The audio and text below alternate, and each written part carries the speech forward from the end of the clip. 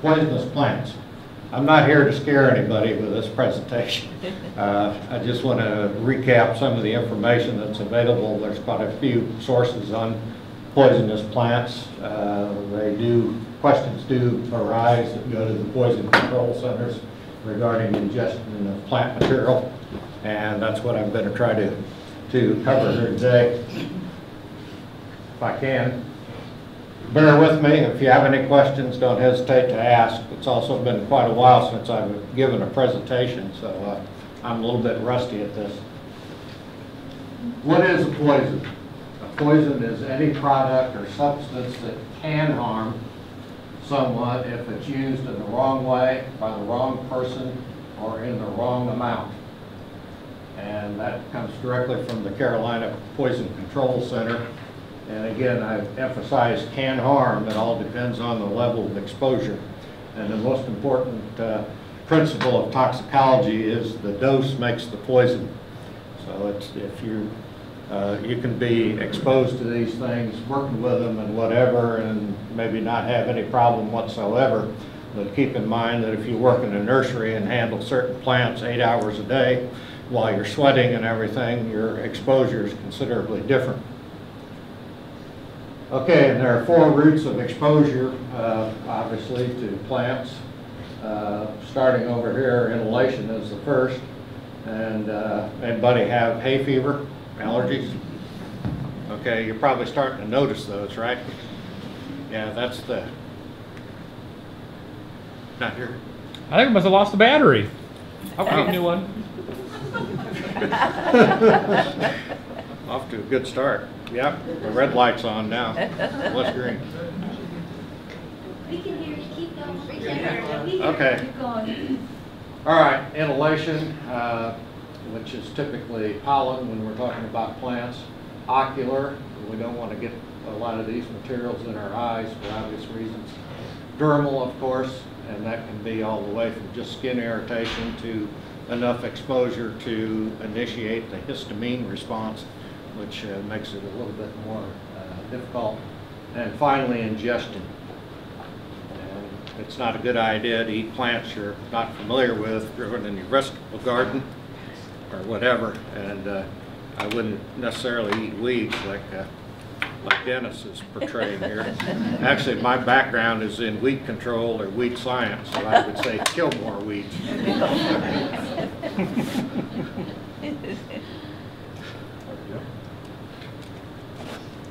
Okay. Proceeding, poisonous plants in perspective. Uh, A poisonous plant list, and we'll go through these here today, it can be quite a lengthy list. But if you look at Poison Control Center data, plants are 20th and 25 of the things most frequently involved in human poisoning questions. And uh, the first few was ones are probably under your sink in your kitchen. Uh, Those are some of the more dangerous things around the house. And dietary supplements, herbal, herbal, herbals or homeopathic is 23rd, not too far behind the plants. In fact, some of the, the homeopathic things are extracts from plants. So uh, Dennis will talk a little bit more about that. And these things are all what's called plant secondary metabolites. That is, they're, they're not involved with what the plant is doing every day to, to live, but they are in fact groups of chemicals that the plant synthesizes for various other things in the plant, like lignins, which go into cell walls, uh, and uh, alkaloids, which Dennis is going to talk quite a bit about, uh, flavones, and down here, flavonols, which is uh, like flower color, Uh, anthocyanins, which also is flower color. So a lot of other things are going on the plant at any one given time, in addition to what it does just to stay alive. Plant poisonings frequently involve children under five pretending plant material is food. This is very important. The scenario that a lot of children get involved with is if they're playing something that involves food, a kitchen sort of thing or whatever, and they want to grab something to pretend that it's lettuce or whatever, And they typically take the first thing that's available, and that's an exposure that wouldn't normally happen. So that's uh, something to keep in mind. It can also result in sick- simple ignorance or misidentification, uh, especially when they're making like teas, uh, putting things into, or leaves into water and whatever, and uh, making a a tea, and then drinking of that tea. Uh, That's another route of exposure. And then playful curiosity of uh, babies and young pets, especially keep in mind that I'm talking also about potential harm to household pets, cats and dogs. And of course, puppies are particularly curious and tend to put a lot of things in your mouths, as you know, and they are something to watch as well. Symptoms typically begin with nausea, cramps, vomiting, diarrhea when ingested. Uh, With, uh, uh, of course, dermal, it's more scratching.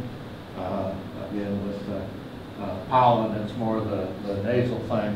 But those are all histamine responses. That's your body's way of trying to reduce the exposure to these things. The, uh, Obviously, the cramps and the vomiting in order to get rid of what's been ingested that it perceives as possibly harmful. Uh, The uh, nasal problem, uh, secreting mu- mucus, which can clean out the nasal passages and also insulate the nasal passage area in order to avoid the contact with the pollen grains or whatever. And of course, scratching is a lot of, uh, the reason for scratching is to get rid of the skin cells that are actually causing the stimulation of the reaction. Again, it's part of the histamine response that the body is, is using to try to deal with these things. Uh, Common inhalation allergens, uh, I'm not starting out at the right time of the year, but the fall ones are primarily ragweed and things like pigweed. And uh, also, uh, well, growing along the road- roadside would be goldenrod. That's another one that's, uh, uh, has, is an allergen in the fall. And grasses, grass pollen, uh, they're more in the spring and uh, uh, also going into the summer and fall depending on the species. But spring is, is the biggest time and Bermuda grass is kind of an interesting one here. We've got plenty of that around here. And uh, Bermuda grass is a a turf grass, a pasture grass, a weed, and an allergen. So it's, a, uh, it's quite well known. And then trees also. Trees make really good allergens because they're tall. Uh, they catch a lot of wind to blow the pollen long distances. Uh, they're large, generate a lot of pollen. And one of the things we're, we're dealing with here now uh, is maples. Uh, Our two main pollen sources right now are maples and junipers. Uh, Elms also, we don't have so many of those, but uh, they are also uh, an allergen. And mulberry is an allergen, a very powerful one. Aren't a lot of mulberry trees around, but it's surprisingly powerful allergen. Pecans are an allergen, sec- second only to ragweed, but it's primarily in the spring. And less potent, but uh, more productive, uh, some of the oaks. And uh, also they are prevalent in the spring. And loblolly pine, the- we, the poor loblolly pine, uh, we give it a bad rap. When that yellow stuff starts coming down, everybody's allergies are really going and they say, well, it's the loblolly pine that's causing the allergy. Well, in order for an allergen to be an allergen by inhalation, it has to be airborne. And that yellow pollen, as you know, that falls on your car and whatever, is not very airborne. It is in fact too heavy to be respirable. So what's hurting your nasal passages at that time is not the loblolly pine pollen, but all of the other pollens that are out there, like the maples and the oaks and, uh, and some grass pollen at that time and a lot of other things.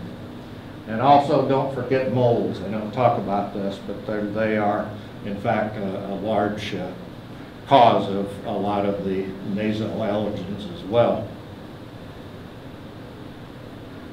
Okay, uh, now for routes other than inhalation, we start to talk about uh, ingestion here. And number one on the list, from a plant perspective, is usually the, the castor bean. Uh, And the toxin there is an alkaloid called ricin.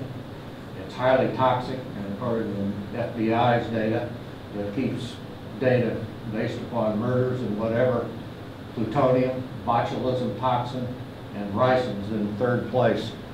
It's a very toxic thing, and that's something if you, uh, if, if you have castor bean in your yard, uh, be very careful, especially when they go to seed, because the seeds can be very toxic. In fact, uh, before I left Kansas City, there was a lady that worked in a lab that got a bunch of castor bean seeds and ground them up and killed his, her husband and, and two of his sons, and she set fire to her house. But she used the ricin as the, as the vehicle for the, for the murders. So it's, it's nothing to, to play around with plant perspective. Other euphorbs also uh, are uh, potential issues. A lot of the sap plants, the white sap plants, they're at least uh, skin irritants. Uh, Poinsettia around the holidays causes some concern, especially for uh, animals. There's, there's some will uh, ingest those and veterinarians get calls as a result of that. The Liliaceae is a very similar situation.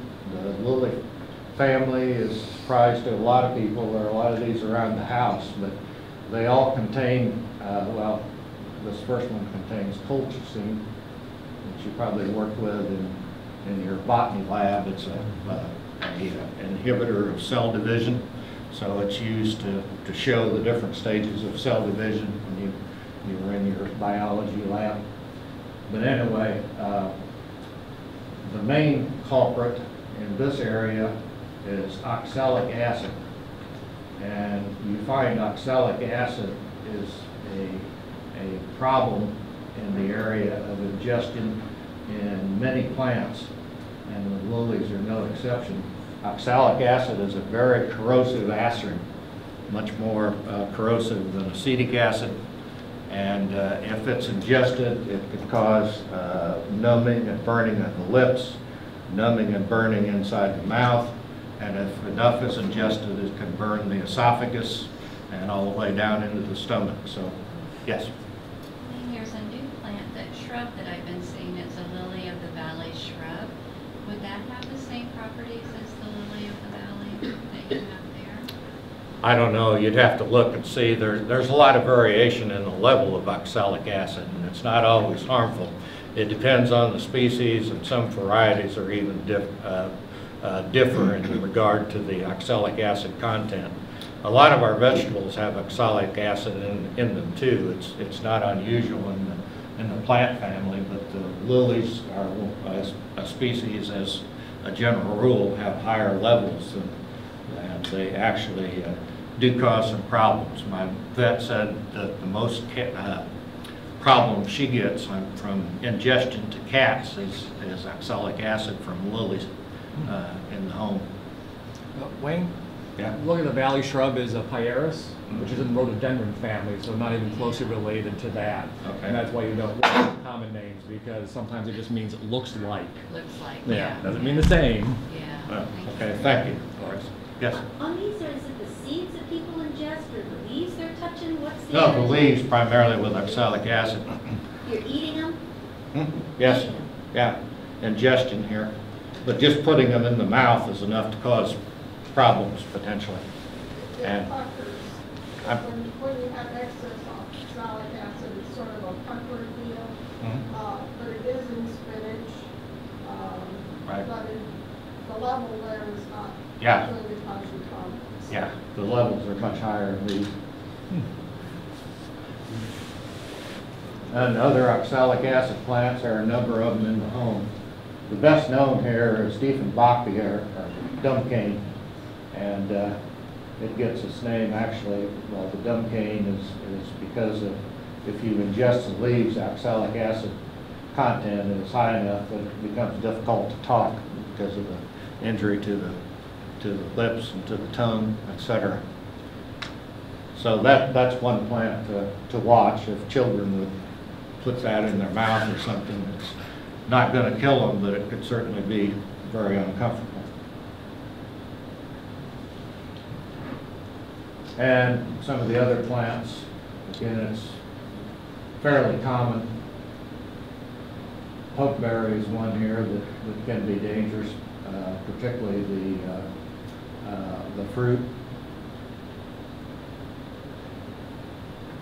And the poisonous wild plants, of course, this is probably the most important one here, not because of ingestion, but because of skin contact. And this is one of the things that I spend a lot of time trying to train and remind my grandchildren about because it's very ubiquitous. And the thing to remember and tell children is leaves of three, let it be, because that's your poison ivy and poison oak. Uh, Those are two of the most common for the, and some people can be extremely uh, uh, sensitive to it. And I know all you botanists are saying those aren't leaves, those are leaflets. But leaves of three, uh, it works with kids. It's, it's easy to remember. Uh, Others that are, can be somewhat poisonous, English ivy, not a lot of people eat that. uh, uh, Also morning glories and uh, wisteria seeds can be dangerous to consume. So I, I just keep this in mind because if you have children that play in these areas, I think these seed pods could be attractive to them in some way. What are the poisons in these things? Are they, are they, is it, are these all oxalic acid poisons again? No, they vary a lot. Some of them are a combination of different things and some of these things, but they're just at high enough levels where they, they can make people ill or, or have some. uh, You can go online and look up a lot of these things. Question. Yes? Uh, So would these things be toxic to all mammals? Because, for example, in a harsh winter, the deer will devour all the English ivy that the birds have Mhm. planted in my yard. Mhm. Um, I also, I used to put my poinsettias in the spring, I'd plant them out in the garden, and I think it was probably the juvenile deer. They didn't devour the poinsettias, but they nibbled them weekly. And kept them nicely pruned for me, but someone was repeatedly nibbling on the poinsettia plants, which I thought were supposed to give them a, you know, bad stomachache or something, but they kept coming back. Uh, That's a really good point. Animals vary. I'm talking here mainly in terms of cats and dogs. But outdoor animals, of course, they're used to eating in the wild. And they may have built up a toxin to some of, the- or a, a tolerance to some of these things uh, that uh, humans and pets don't have because they aren't eating outside. Sometimes if deer just nibble on things, that's their way of finding out if there's any problem with, with eating it. They'll, they'll take a nibble today maybe and say, oh, that tastes good, but then they encounter some kind of problem and they come back and say, well, that's not the best thing to eat, I'm gonna eat, eat something else. It, it really varies. Uh, But just because it's safe to wild animals doesn't necessarily mean it's safe to humans. Again, it's a question of also body weight versus the, the level ingested uh, as to whether or not it's going to be toxic. The solanaceous plants, uh, Dennis is going to talk more about those, but uh, they are full of alkaloids. Uh, They are, this is the nightshade family, and uh, uh, you can tell, tell here the uh, deadly nightshade, uh, atropine, which Dennis will talk about, uh, tobacco, full of, uh, of course, some of these have nicotine in them, but not as much as our, our domestic tobacco. One thing that's here is Irish potato, and basically the part here that's harmful is this green skin. And I think probably in the processing, a lot of the potatoes that have the greening on them are, are weeded out. But the potatoes that have green on them, the, the um, solanine uh, content is much larger than the normal potato. Uh, And uh, they can, in fact, be, be toxic, that is particularly the, the green skin on the potato. Uh, Also the berries, etc. The foliage is also higher in solanine than potatoes.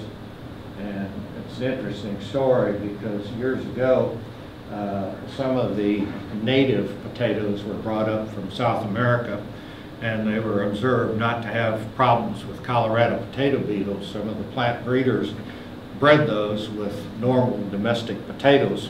And sure enough, they helped with the Colorado potato beetle problem, but they actually made people sick because the solanine content was high enough in those wild plants that it, it worked for the insects, but also became toxic to humans. So uh, this is just an interesting example of these sorts of things. Uh, Frequently a question of, uh, of concentration, et cetera. Uh, Seeds from trees are sometimes, uh, can be toxic. Not very many people eat acorns. Uh, Of course, deer and other animals do, uh, to not too much problem, but they're full of tannins. So they can be very acidic and probably would be uh, repulsive to the taste buds of, of humans. But anyway, squirrels like them and whatever. But uh, also, we don't eat very many peach seeds, but I think most of you are aware that a lot of the uh, uh, fruit tree seeds are high in arsenic, and uh, we don't eat them, but it's a good reason why we, we don't eat them. Uh, Okay, Taxus. We'll talk about that too, because most of you are aware of taxine here. Coming from some of these plants, azalea and rhododendrons. Uh, Oleander is probably worth mentioning. Uh, There are some instances where people consume enough oleander to at least uh, uh, cause a question of whether or not there's ingestion problems with the the oleander, because it is an attractive species. And uh, some of the other things out in the wild, uh, unripe fruit, uh, water hemlock, holly. It's not a good idea to eat berries with a lot of any, almost any plant that uh, you're not familiar with because they do, berries tend to concentrate things, obviously, because the, uh, the seed obviously uh, has nutrients in it. And uh, some of the others here, hyacinth bean, uh, hydrangeas, the uh, ligustrum, especially the uh, privet berries. Again, something that not consumed. And uh, some of the less tolerant things that you'd have to consume more of, things like boxwood, iris, uh, mums. Uh, This is, you can see uh, dermatitis from the oil. Probably you can handle mums as a gardener without much problem, but if you worked at some place and handled mums for eight hours a day, you'd probably have enough oil on you that you'd feel that effect. Hyacinth, also uh, dermato- or dermatitis. Again, with dermatitis, it depends on the level of dermal exposure and your particular sensitivity to those particular uh, plants. Poppies, uh, there are frequently questions about our common poppy and California poppy. Uh, Are they actually uh, dangerous like the opium poppy, poppy and the Mexican prickle pop, prickle poppy? Hard to say. Uh, No, they are, are not. The the domestic poppy, poppy is not a, not harmful. It's not high enough in alkaloids to, to cause a problem like the the opium poppy. Yep. Just lost those batteries too. Oh, Isn't that fun? boy, you need some new batteries. Well, they bought all new ones and then they promptly didn't charge them. How about if we spin this around a little bit, Wayne? Would that be okay? Okay, I'm almost done here. Okay, some poison prevention tips here in the end. Know your plants and educate children. Uh, Some of these species, like the dumb cane and things like that, keep those in mind and keep them uh, out of reach of children if you can. Uh, Avoidance is the best way to, to not have to worry about these kinds of things. And especially out of the reach of small children. Remember pets, which are also at risk, particularly puppies and cats uh, that tend to be curious and tend to want to try things. Uh, Human risk does not always equal risk to birds and other animals. Uh, This is something to keep in mind. Uh, One of the differences relative to your question uh, amongst animal species is the length of time something is kept into the digestive tract.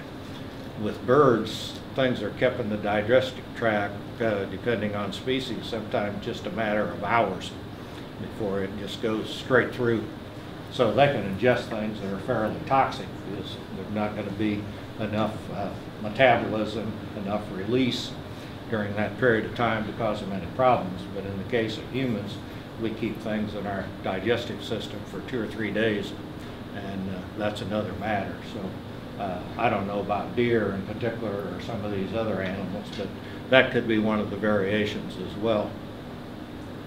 Uh, Burning can also produce uh, problems, especially poison ivy or poison sumac. So if you're cleaning out the, the uh, fence row in your backyard or whatever and burning some of that, it's best to not be downwind of the, of the burning, especially if it has a lot of poison ivy and poison oak in it. And the Carolina Poison Control Center is where to, to call if there's ingestion. Uh, There you get some experts like Dennis that really know this stuff and can get into detail with you about the, the level of exposure and things and uh, be more specific about what the, what the risk might be. Uh, Don't hesitate, again, Carolina Poison Control Center. And there are a lot of sources of information. uh, A lot of them from uh, NCSU. Again, if you uh, Google NCSU poisonous plants, you can come up with a lot of this kind of information and a lot of the information about contacting the Poison Control Center and whatever. Are there any other questions?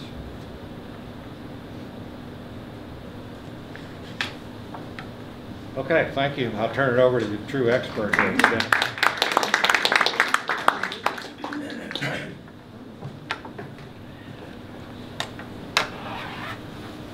Dennis, I just thought about a hidden set of batteries over here in this guy. Let's go ahead and get that swapped out.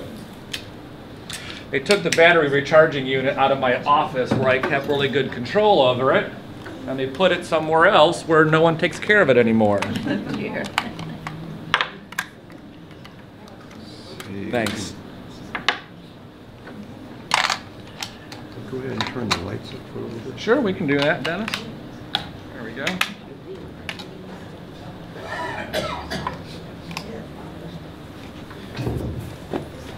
There we go, that one's showing a good charge. Up here in the center, want me to do it, Dennis? Yeah. Okay. I'm gonna just pinch the shirt a little bit, there we go. And that can go inside your pocket. It's all yours, Dennis.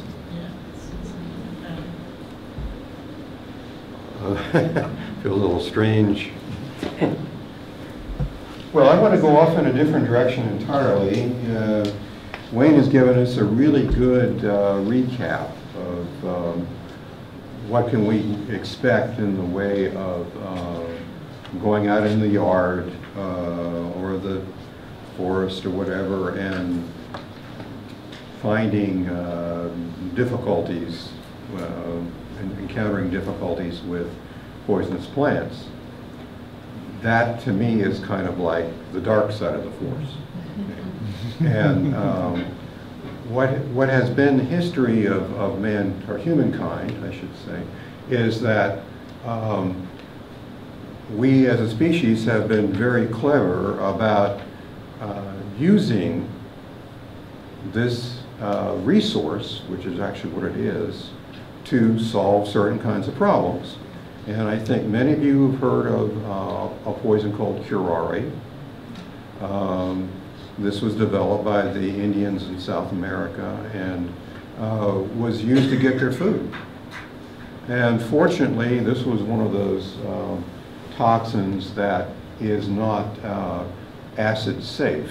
In other words, um, when they uh, kill, actually what they would do, what curare does is paralyze. And uh, when it, when it brought down some, some food and they cooked it and ate it, um, that, that toxin was destroyed by the cooking and the acid in the stomach. And so, um, worked out just great. In the meantime, um, we have developed a lot of other uses for poisonous plants. And I won't uh, start out with getting into detail about cancer, but cancer is kind of, uh, treatment of cancer is kind of at the other end of this progression from where uh, in very ancient times, people found uses for plant poisons in order to do things like uh, fight their enemies, bring down the food, uh, uh, make war with uh, the other, the rest of the animal kingdom. Uh, Now we're kind of at the other end of all that, and we're, we're looking at trying to solve major problems that we, we have in our society, and obviously one of those is cancer. More recently, we've been developing targeted therapies for cancer. But um, a big breakthrough some time ago was to find things in nature that would uh, stop the, the growth of cancer. We have this problem um, because when we want to fight cancer, cancer is really the same as us. right? The only difference with cancer is it's an unregulated us. And so the one big difference we have with cancer is that it just keeps going to reproduce all the time.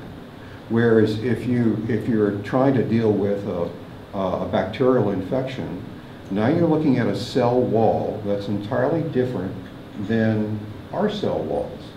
So if you find a chemical, for example, that will attach to the cell wall of a bacterium, then you can, you can attack it and not attack the host.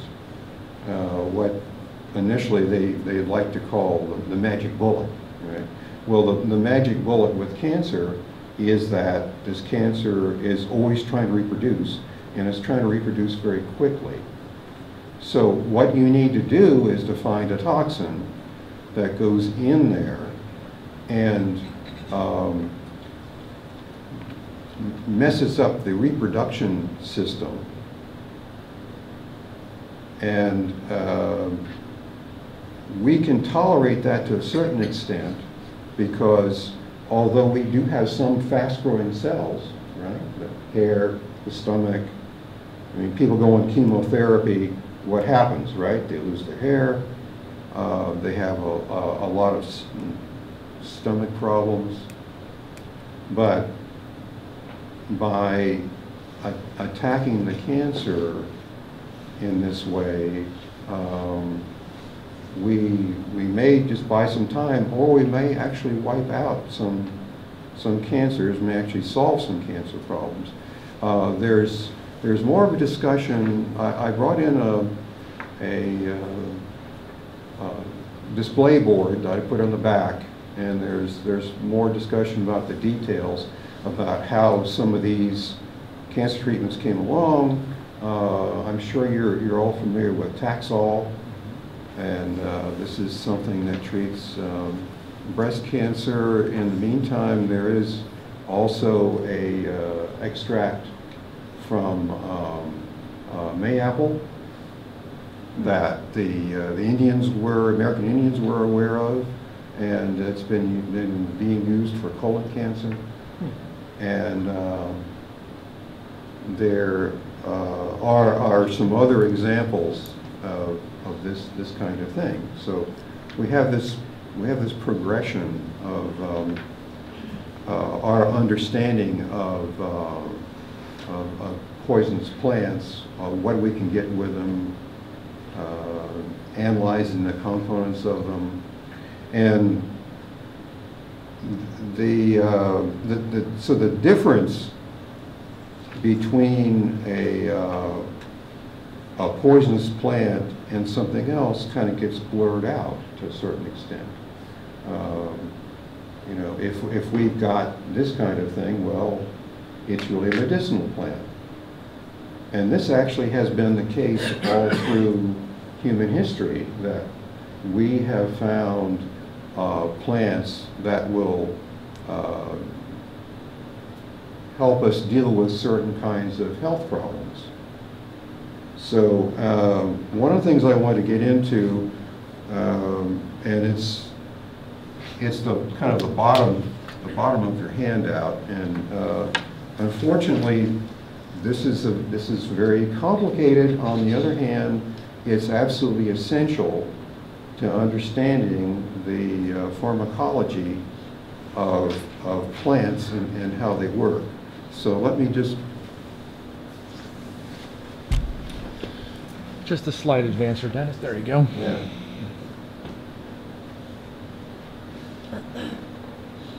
Oh, this was the, uh, this is the same thing you got in your handout, right?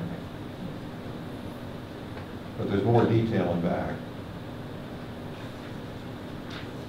Okay, so the important thing about the body is that it must remain in balance. This is, this is um, the the cardinal principle.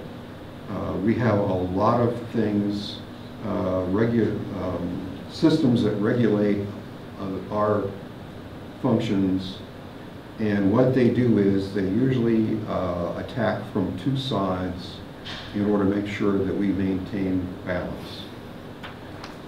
When we, when we look at the nervous system, we find there's a particular part of the nervous system that's quite critical to maintaining balance.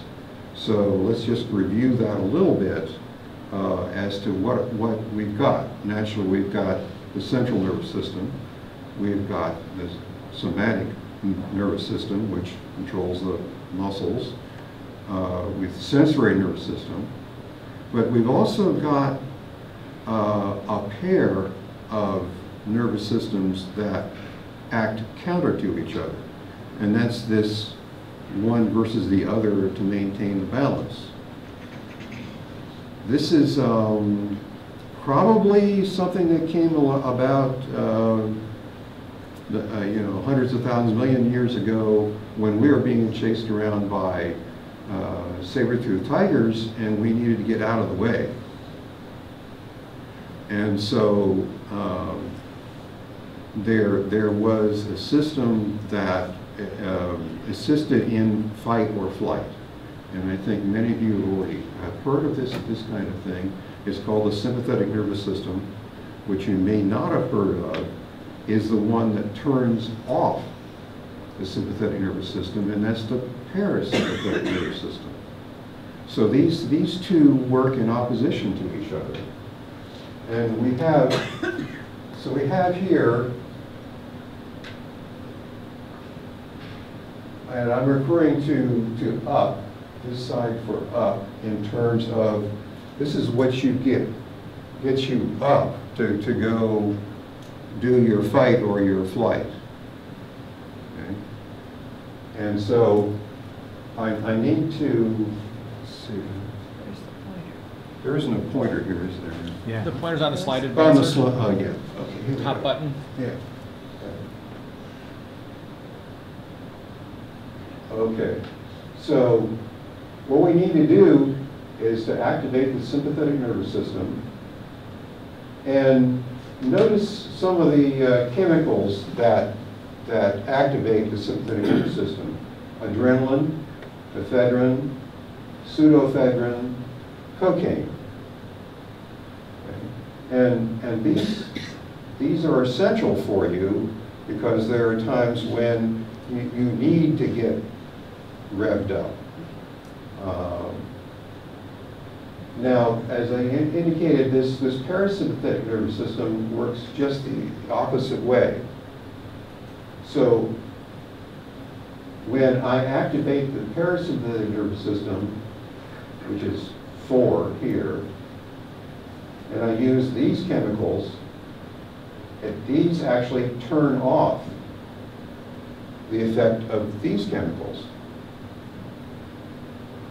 And um, the curious thing that has, that comes up in, when you start studying plants is that we've got a lot of these chemicals, Wayne just talked about this, the so-called tropane alkaloids, so atropines, scopolamine, and so on.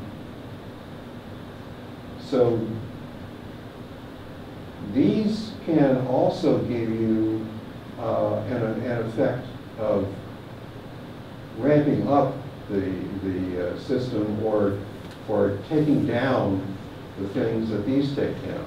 So we need to make this kind of a little list to see what we're affecting.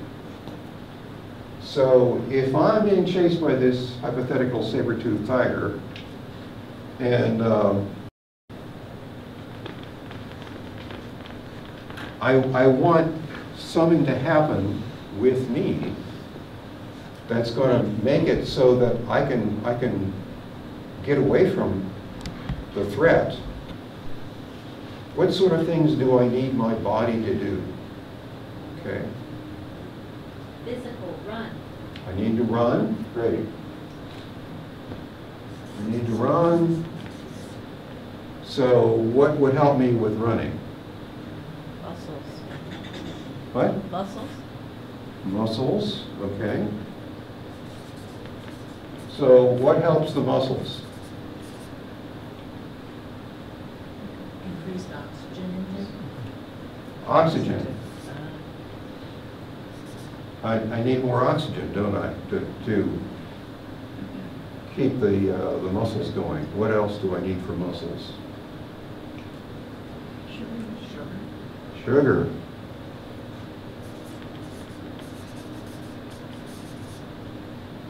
Okay, now I've only got so much of that stuff in the body. So if I'm going to make sure I get plenty of this to the muscles that I need to, to fight or flee, then what about other things in the body? What am I going to do with those? Increase your heart rate. Okay. Okay, heart rate up. Which of course also means your blood pressure goes up, right? Okay, but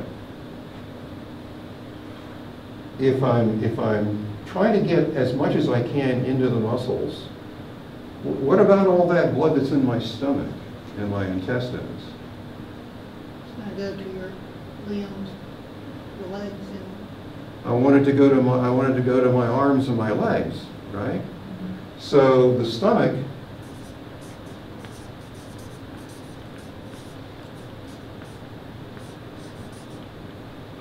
the stomach gets shut down.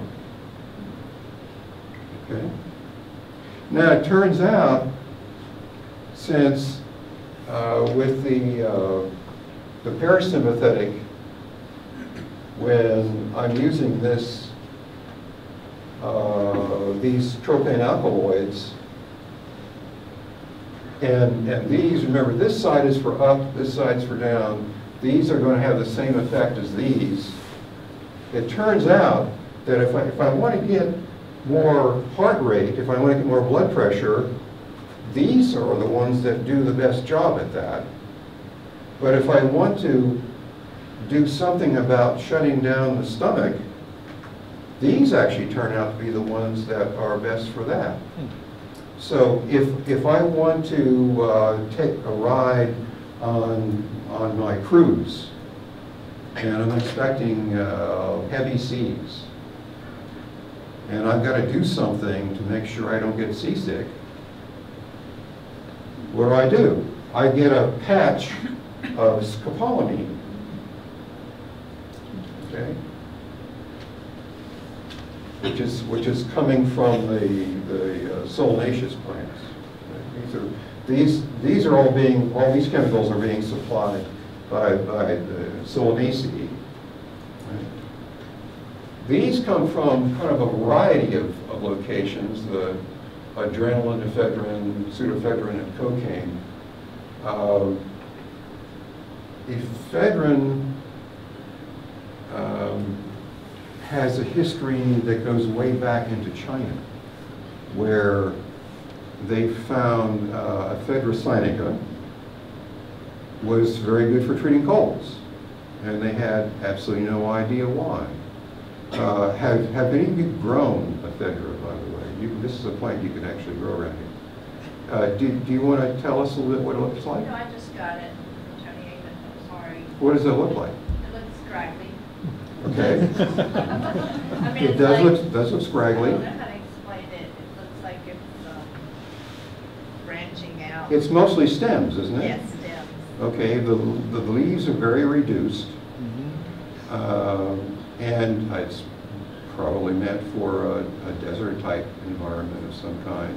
Uh, I've tried growing in the past, it's the devil to keep drained well enough. Uh, So I actually had to set up a, a special little uh, tiny garden for it, you know, where uh, just, just put a lot of sand in it, you know, and hope you can keep it uh, dry enough. Okay, so, okay, what, what about, what about the word ephedrine? Does that sound familiar at all? Absolutely. Now, the only difference between these two, uh, in chemistry, there's something called an optical isomer. And some of you may have heard that, some not. But the, the basic idea is that with your, your sugars in your body, they'll, they'll be one way, but they won't be the other way. Proteins are the same way. You've got right-handed proteins and left-handed proteins. Well, you've also got left-handed and right-handed chemicals. And it turns out that the ephedrine is one way and the pseudoephedrine is the other. And the reason the pharmaceutical industry settled on pseudoephedrine is that they found with it, they had fewer side effects than with the ephedrine.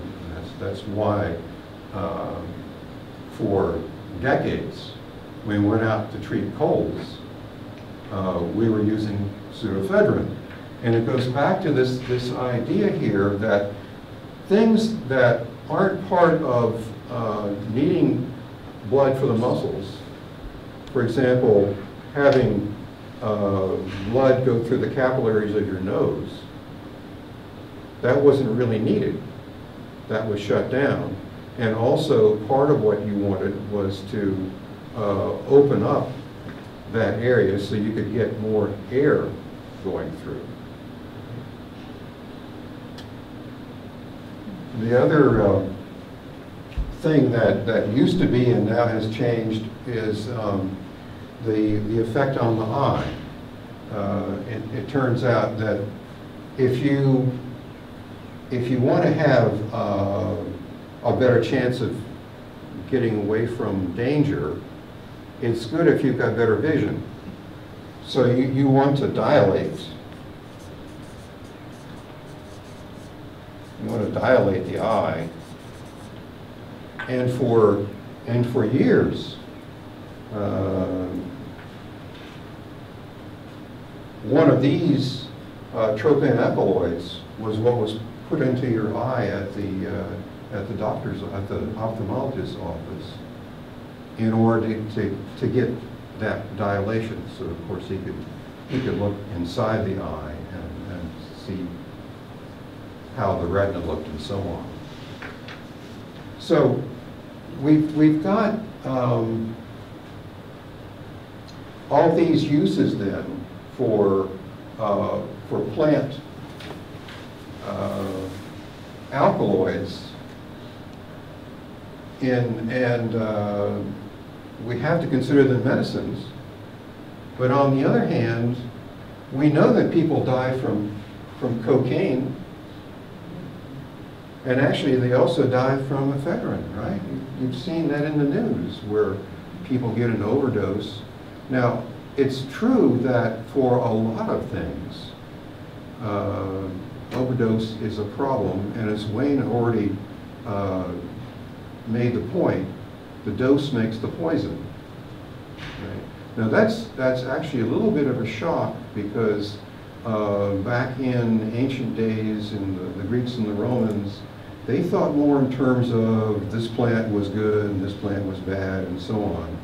And then a- along came a physician, Paracelsus, sometime thousand years later, who said, no, that's not it. It's, it's not the thing so much as how much of the thing that, that you ingest. So we've got this big problem then, when, when you want to talk about a poisonous plant, um, you would have to do it in regard to uh, how much was consumed, for example. And, and so we, we've got that problem, and then we've also got this problem that even if, if you look at um, what we might be considered edible plants, they're not free of toxins, okay? Um, Sweet potato has got furans. Onion and garlic has N-propyl disulfide. Uh, Mustard family has methyl disulfide. Um, Carrot family has got uh, furanocoumarins, and so on. The, the list just goes on. One of the things we, we, we did in class one time, when I was, when I was taking this class, uh, was to, to go through and analyze your Thanksgiving dinner and see what it was on that list that didn't have some kind of a toxin in it. So we've got edible plants with toxins, we've got um, so-called poisonous plants that are being used extensively for, for medicines. It would be really nice, you know, if you walked into the woods and there were like little signs sitting around and said, you know, uh, you know, I'm a medicinal plant, and this next one said, no, I'm, uh, I'm an edible plant, and so on. Um, it's really a very confused situation. Uh, and uh, let's see, uh, I'm trying to think. There was something else. I think I'll stop there and, and uh, see if you all have any questions. Yes? I have a comment, not a question. As a nurse, we use um, adrenaline as epinephrine. That is the first drug of choice in a code situation. Right. And cocaine that actually did use back in the 1980s, I don't think they still do it to stop nosebleeds. Uh, And I was at bedside, the doctor had to give it, of course, but um, it was interesting to see that it did have a medicinal use. And then atropine is used preoperatively, and it makes your mouth dry. You were talking about the, um, the dry mouth and the scopolamine also. It's just interesting to see that the, the um, pilocarpine is used a lot in the, um, Yeah, I didn't have any chance to talk about these. Uh, We've got another whole yeah. bunch of plant medicines over here that, that have uh, been used for a long time. I just thought it was interesting. It's retired nurse. Sorry. No, no, that's, that's, that's uh, absolutely true. And um, one thing that's, uh, has been interesting for me is that, uh, you know, I'm of an age where, um, you know, for example, I take a beta blocker. The person first told me what, a- that I was taking, I'm gonna take a beta blocker, it's kind of like, really? What, how do you block betas, right?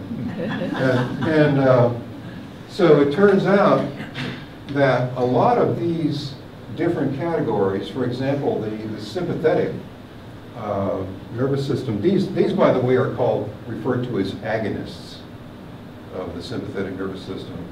And when you have um, that kind of situation, uh, you can actually have different kinds of agonists. You can have subgroups within, um, for example, here, there are, there are subgroups here.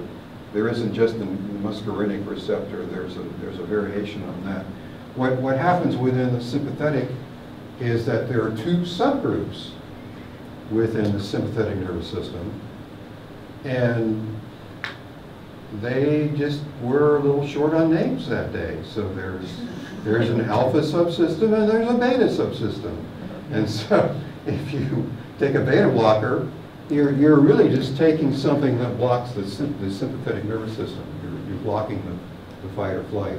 The, the uh, alpha actually is um, something that, that people take, well, men take, if they're having trouble with the prostate. So you, and you find out that a lot of these things, um, um, these, these, these different um, uh, receptors not only have a bunch of variations, but they're scattered all over the body. And so it isn't just that they uh, help out with a particular problem, they help out with a bunch of different problems. So you could, you could wind up taking something for one problem and then cause a problem somewhere else. But my, my message, my message is that um, there, there's uh, sort of a good side and a bad side to, to poisonous plants. You know, we, we, we certainly uh, want to be careful in dealing with poisonous plants, but uh, they've, they've given us uh, so much in the way of um, the development of our civilizations over the years and the, and the medicines that uh, we've accomplished with them, um, that kind of we want to look at both sides of, of poisonous plants. Yes, ma'am? I have a story for you. Sure. Um, I think it's an American Archaeology magazine that I read an article, you had about acorns being poisonous. And people think of them as very poisonous. Well, American Indians would do fires out in California, and I think they probably did it the East Coast too, just not as much evidence of it. But they have evidence in California where they would clear out the oak groves and encourage, would actually um, grow and encourage oak trees so that they could collect the acorns. Mhm. They take the acorns, and you know these big rocks that have these indentations in them. Mhm. The ladies especially would sit and grind the acorns and grind them and water them, put them in pouches, Mhm. bang them in water, powder, and they would get out all those poisons. And they'd do it for many, many, many hours to get it out. And then they would use it as an acorn flour, and it was one of the ways that they Sure. would get through winters. So, you know, even some things that are kind of poisonous, if enough labor is used in it to get it out to the right amount, you might be able to use it. I just think that's a cool story about America. Start with processed foods. Yeah, there you go. There you go. This, this is actually a very common story. I mean, it isn't just with acorns. There's a number of other plants um, that, that have, you you know, for example, the oxalic acid problem. Uh, You can work on that to try to get those taken out. Um, And, and uh, this is, this has been the, yes, go ahead.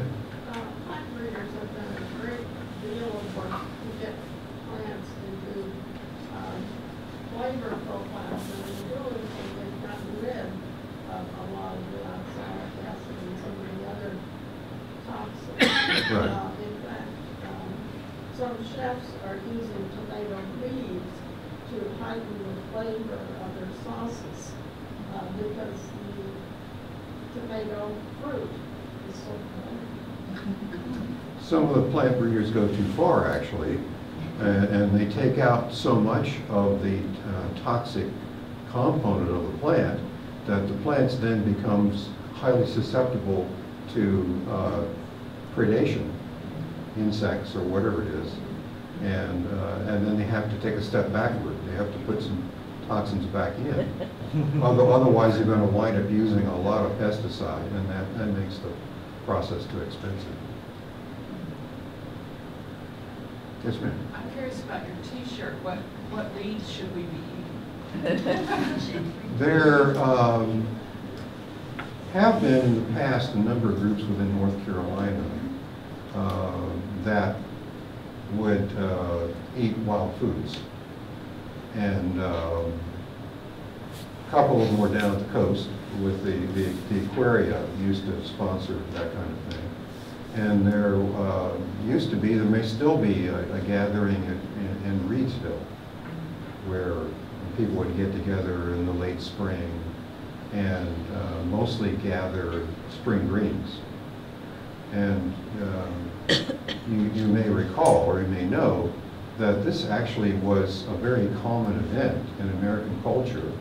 It was considered good to go out and, and eat your bitters, right? That they, they saw that uh, these spring plants would, would give them certain nutrients.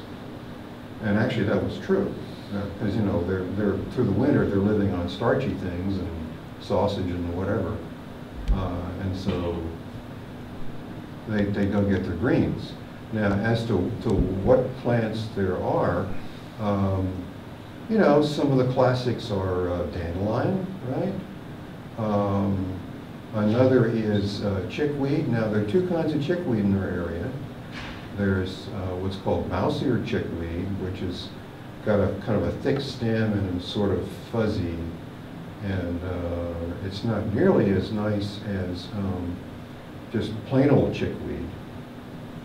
Uh, And, um, you know, people ate the violets and They're- red bud flowers. Flowers. I'm sorry? Begonia flowers. Yeah, I caught that, but back there. Fiddlehead ferns. Yeah, Yeah, you gotta be a little careful with fiddleheads. Some fiddleheads are good and some aren't. They have Uh, oxalic acid in it too. The, the ostrich fern is the one that you eat, I think. From what I understand, I actually had some up in Maine that was really good.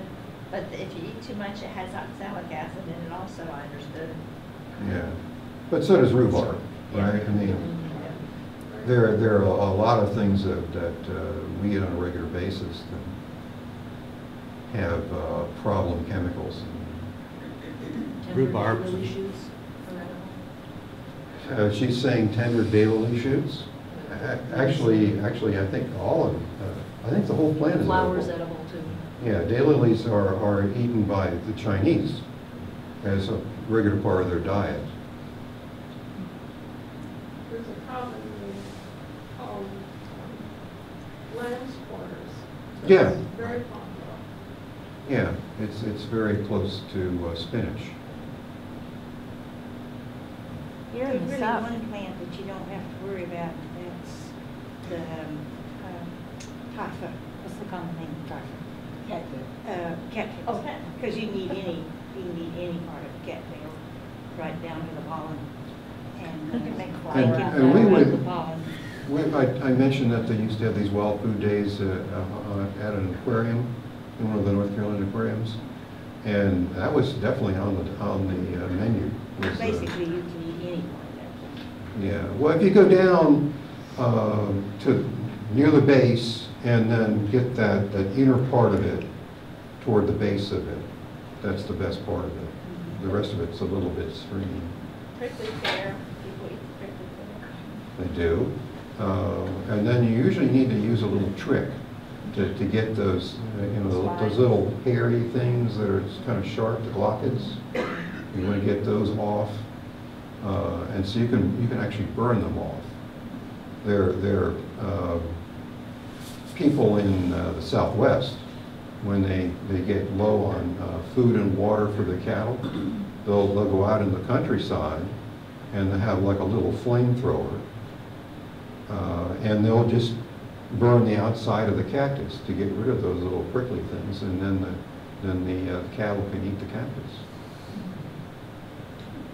And then they have been bred not to have the prickly things. There are, they've been bred not to have the prickly things. And those are the, Yeah, I'm sure, but then, then you get back into the problem of, of you've taken away the defense for the plant. So, uh, you know, unless you're going to protect the plant in some other way, then critters are going to come along and eat the cactus.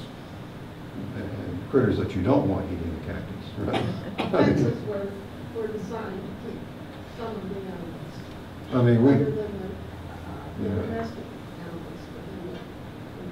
Yeah, I mean, the whole, the whole reason, obviously, that we've got uh, thorns and and nasty chemicals and, and bitter components in plants is they don't want to get eaten, right? So we take that away from them, they may not make it. Claire, you want to? Don't, don't I remember pokeweed salad? Pokeweed, okay, that's an interesting comment. Um, There, there are a lot of these things that um, are kind of on the poison plant list. Uh, Wayne had, had mentioned uh, pokeweed, uh, big controversy about pokeweed berries, as to what extent, extent those are, are uh, a problem. Um, But it's, it was, and maybe still is in some places in North Carolina, very common for people to harvest the, the short shoots from, from pokeweed. I've eaten it myself. It's, you know, they always try to tell you it tastes like asparagus, right? It's, it's kind of like, you know, when you're tasting some other meat, it's chicken, you know, so if, it, if you're tasting some un, unknown wild vegetable, oh, it tastes like asparagus. Yeah, really? No, it, it, it doesn't, but, um, but, uh, that. But you uh, have to boil it and boil it and boil it, don't you? well, it depends upon, uh, Claire was just saying that you have to boil it a lot. Now, there are some wild foods that uh, people do a double boil, right? Uh, Boil it once, decant the water, boil it again. Okay, or, or maybe you do that twice. Think of how much you, uh, uh, jewel weed, for example, is one of those that, uh, are you familiar with jewel weed? No. Um, It's, it's a plant that grows in very moist soil, it's a touch, touch me not, It gets rid of poison ivy. and, and allegedly gets rid of poison ivy. Have you ever tried it? Yep. Did it? Well, at the time, I wasn't allergic to poison ivy, so Okay. can't really tell, but. Uh, I, I knew people that used to um, harvest jewel weed and um, make a little, uh, sort of like ice cubes. I mean, they would take the sap and they'd put it into an ice cube tray and stick it in the freezer. And then when, when you decided uh, that you've been exposed to poison ivy, you take one of these little cubes out, you know, and just rub it on the affected spot, yeah. Yeah, another plant that's uh, got some interesting properties that you have to overcome is stinging nettle. Oh, yeah. But they're very helpful. Food, once it's processed and ate. Yeah, what, what about the old saying about, uh, grab it like a man of metal, and then you don't have problems with stinging nettle? You ever, you ever done that one? No? And if you brush stinging nettle, you get those little hairs in your skin. But they say if you, if you're going to use this, uh, for an edible, you have to go and grab it forcefully, and then you can throw it into the pot and hopefully get something out of it. Use gloves. How about amaranthus? Is that a wild plant here, or is that only like an Uh, I don't know if there's a wild, does anybody know if there's a wild amar- amaranthus in uh, North Carolina? Yeah, that's, that's pigweed. That's pigweed. Yes. Yeah, it- it is, the seeds are eaten as a cereal, Yeah. kind of like quinoa is Yeah. becoming That's popular here in Easy some to areas. do. Okay. Thank you. That's a cool one. It has an odd flavor. You don't care for it? No, Mm, not even the commercial product. No? It, it has a really distinctive flavor. You can buy it in some health food stores. Hmm. Well, it sounds like the last of the questions. Oh, does- We got one last one? The, the pokeweed, you just must never take it when it's already beginning to get the red. color. Exactly. That's the important thing. Yeah. Exactly. Yeah, If you see the- particular. You see the red coming up from that tuber, Then it's, then that's the, Leave it alone. the toxin is coming up at the same time. And, uh, right, you, that's what I was saying, you, you want to take the very first shoot. And, uh, you know, I'm not recommending any Oh, of these plants for, for Not eating, green. okay? Well, the berries often have a concentration of toxins because the plant is trying to perfect the next generation. Right. That's the way it should be, but now I've, I've, I've seen. I've seen information literature both ways on this. Um, There are people that say that the, the whole berry is toxic, and there are other people that say you separate out the seeds from the pulp, that you can eat the pulp. Um, I don't know, I mean, that's, that's But not, The pulp is attractive to the animal that's going to carry the seed some distance away. So yeah, and, and that's, and that's a common theme in uh, the plant-animal interaction, right? But there are uh, exceptions, just a little. Well, it, it's very, you know, we have wild persimmon around here, and how does that get spread? Well, you know, the persimmons drop, raccoon comes along, and he either takes the fruit somewhere else, or he maybe even eats it and passes one of those stones through the digestive tract. Uh, Same kind of idea, I mean, why- why does an apple do what it does? I mean, why does it put that big sweet endocarp out there? Because it wants to get picked up, right? But then it turns right around and puts a cyanogenic glucoside into the seeds, okay? It doesn't want its seeds to be eaten, obviously. It just wants somebody to carry the thing somewhere else, so there can be an apple tree somewhere else. But then leave my seeds alone, right? And this is a common, common theme too, that quite often you'll see that the, the, the seeds are toxic, or the, we, we were talking, Wayne was talking about peach pits. Uh, You know, I think most of you are aware, they try to make a medicine out of peach pits, it's called Laetrile.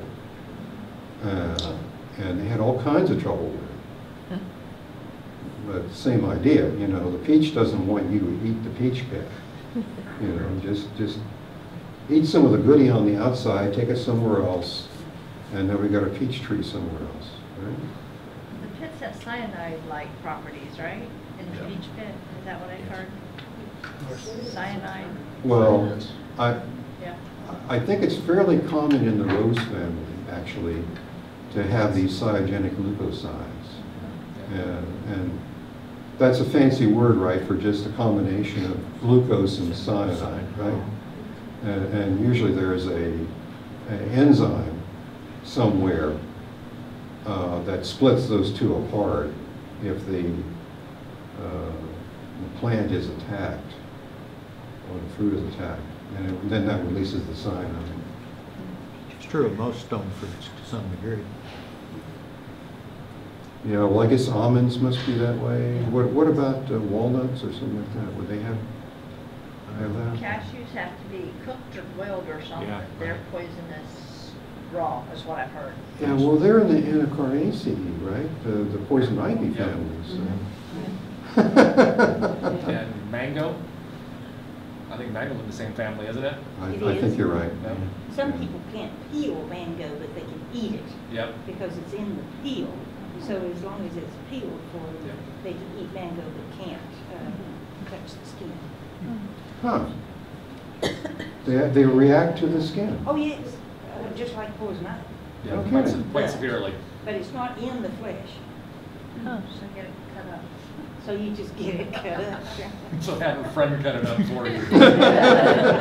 Or an edible. Yeah, do me a little favor and cut up this poisonous plant.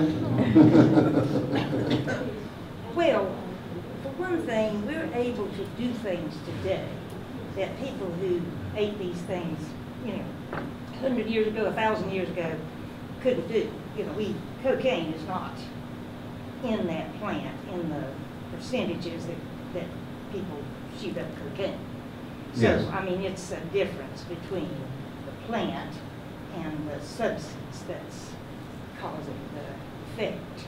I So think it was in we Coca-Cola. It was in Coca-Cola. It was coca When it and first came cola, the out. cola nut and the Right. cocaine. Sorry. But it was Yeah, in such the- the- the good old days of But it was in such Coca-Cola. low percentages that, uh, uh, Well, the Indians, the natives in South America where cocaine comes from. Yeah. They didn't process it. They That's used right. the leaves to, to help them, um, stave off hunger. And they found, especially the elites, found that if they gave it to their people, they would work harder as they were Right. building their, their big. Because they stone could, works. because they could work harder, Yeah, because they had more yeah, And stamina. it would Right. stave off the hunger during But that that's the time. difference between, you know, we blame the plant, but not really, because it's what we do with, uh, with the compounds that we now are able to identify and then mess with. Yeah, um, actually, the the early developers of cocaine were people that were using it as a uh, uh, numbing agent for the eye, for eye operations. And then that's where it first, uh, we're still talking about cocaine, I don't know how much you can hear in the back. Um, But that's, that's what brought it out of the shadows. Uh, And then, after that, then people started finding other things to do with it, you know, like making Coca-Cola, but. Putting it into wine, Yeah, that's right, there was, there was a a French version, wine Mariani, Yeah. or something like that. I yeah, they com- combined cocaine and and wine. Now, there's a drink for you. Well, they still se- serve coca tea um, in the, in Peru. So, so tourists can uh, tolerate the high altitude. Claire, Claire's saying uh, they still serve coca tea in South America so that the tourists can deal with the high altitude. Yeah. And it works. Yeah, I've done sure. Oh, yeah. stuff. Yeah, well, And if you You don't know, take it, you're in you're- trouble. you're, you're revving, you're revving up the sympathetic nervous system, so, yeah. They call it his high. I see, okay. Um, Maybe on that note.